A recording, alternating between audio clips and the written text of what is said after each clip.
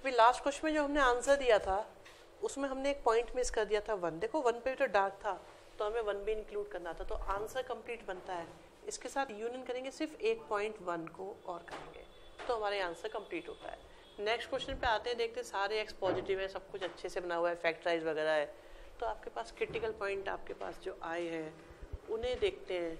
आपके पास critical point आता है वन आता है टू आता है माइनस फोर माइनस टू और थ्री तो यहाँ पर आएगा माइनस का फोर फिर आएगा माइनस का टू फिर आएगा वन फिर आएगा टू और आ जाएगा थ्री इधर इन्फिनिटी और माइनस का इन्फिनिटी ठीक है?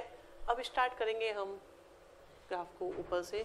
और देखो थ्री जहाँ से आ रहा है, उसकी पावर कैसी है? और तो ये नीचे हो गया। टू जहाँ से आ रहा है, उसकी पावर कैसी इवन है तो नीचे ही रह गया। वन जहाँ से आ रहा है और अब सब में ऑड है तो ऐसे चला समझ आ गया। और इक्वल टू भी लेना है तो न्यूमरेटर के क्रिटिकल पॉइंट्स लोगे, आप वन को लोगे, आप टू को भी कंसीडर करोगे, और आप माइनस फोर को भी कंसीडर करोगे। वैल्यू आपको पॉजिटिव वाली चाहिए तो पॉजिटिव पॉजिटिव पॉजिटिव तो यहाँ पर है।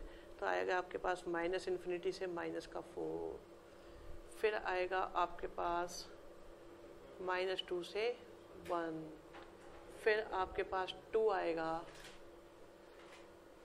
और आपके पास थ्री से इन्फिनिटी आएगा। फिर से चेक कर लेते हैं। माइनस इन्फिनिटी से minus four minus four included है। फिर उसके बाद में माइनस टू से वन वन इंक्लूडेड है। फिर उसके बाद में टू जस्ट इंक्लूडेड है। फिर थ्री से स्टार्ट होकर इन्फिनिटी यही आपका आंसर है।